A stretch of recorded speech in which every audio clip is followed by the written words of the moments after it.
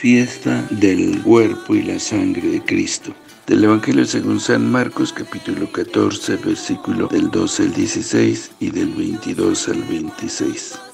El primer día de la fiesta de los panes ácimos, cuando se sacrificaba el Cordero Pascual, le preguntaron a Jesús sus discípulos, ¿dónde quieres que vayamos a preparar la cena de Pascua? Él les dijo a dos de ellos, vayan a la ciudad, encontrarán a un hombre que lleva un cántaro de agua. Síganlo y díganle al dueño de la casa donde entre. El maestro manda preguntar dónde está la habitación en que voy a comer la Pascua con mis discípulos. Y les enseñará una sala en el segundo piso, arreglada con divanes. Prepárenos ahí la cena.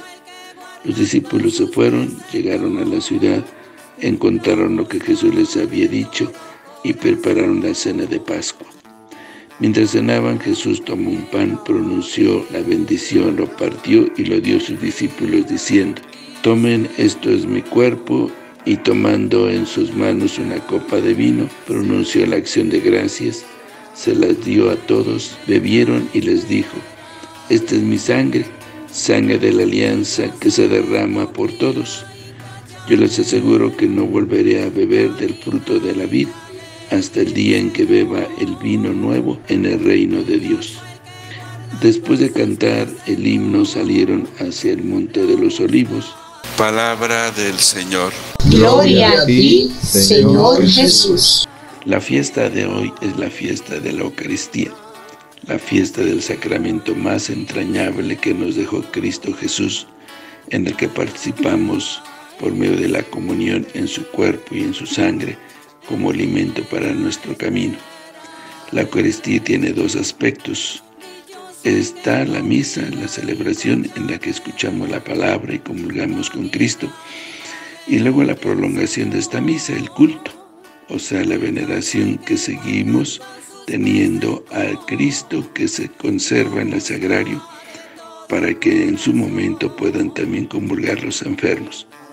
Cada vez que acudimos a misa celebramos esta Eucaristía y participamos en ella.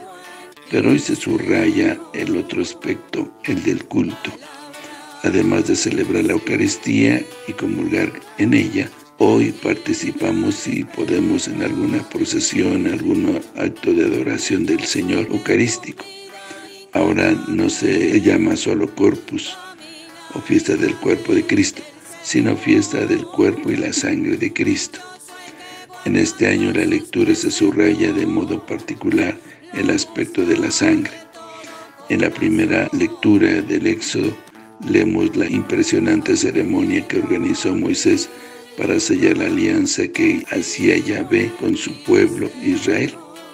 Después de leer el texto de la alianza, los mandamientos, en la tabla que bajó del monte Sinaí, mandó matar animales y con su sangre roció la gran piedra que había hecho poner en medio como símbolo de Dios, y también las doce piedras menores que representaban las doce tribus del pueblo. Así la misma sangre unía a Dios y al pueblo. Y Moisés dijo las palabras que conocemos también. Esta es la sangre de la alianza que Yahvé ha hecho con ustedes. Esas palabras nosotros estamos acostumbrados a escucharlos en labios de Jesús. Pero Jesús cambió una palabra. Dijo, esta es mi sangre de la alianza. Es lo que nos ha dicho la carta a los hebreos. Ahora ya no es, no es con la sangre de animales con la que rendimos culto a Dios, sino con la sangre de Cristo Jesús, derramada en la cruz de una vez para todas. La Iglesia ya desde el concilio ha decidido que más frecuente se dé también a los fieles laicos la participación del cáliz del vino. La comunión tiene una expresión más plena por razón de signo cuando se hace bajo las dos especies, como se había hecho en los primeros siglos. Y uno de los motivos que aduce es que participando también del vino, se expresa más claramente la relación de nuestra Eucaristía con el sacrificio de Cristo en la cruz, el sacrificio de la alianza nueva y eterna. Hoy es un día para que nos propongamos celebrar mejor la Eucaristía y también aprovechar las ocasiones que tenemos de hacer una oración personal ante el sagrario a lo largo del día o de participar en algún acto comunitario de adoración al Señor Eucarístico, tanto en procesiones como en celebraciones dentro de la iglesia. Nunca agradeceremos y aprovecharemos bastante el don que nos ha hecho Cristo con la Eucaristía. Es el motor que nos anima y nos da fuerza para vivir en comunión a lo largo del día y de la semana. Que el Señor los bendiga. Dichoso el que guardando sus preceptos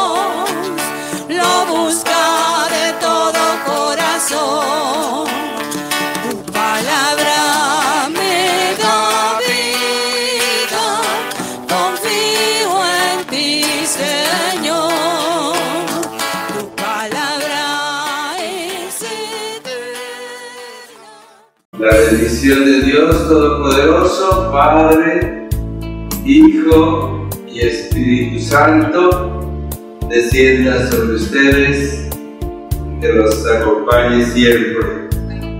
Que el Señor los bendiga.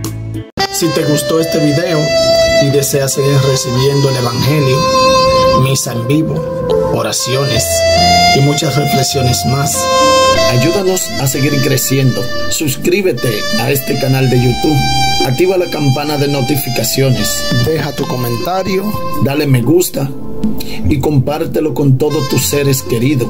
Que el Señor te bendiga a ti y a toda tu familia.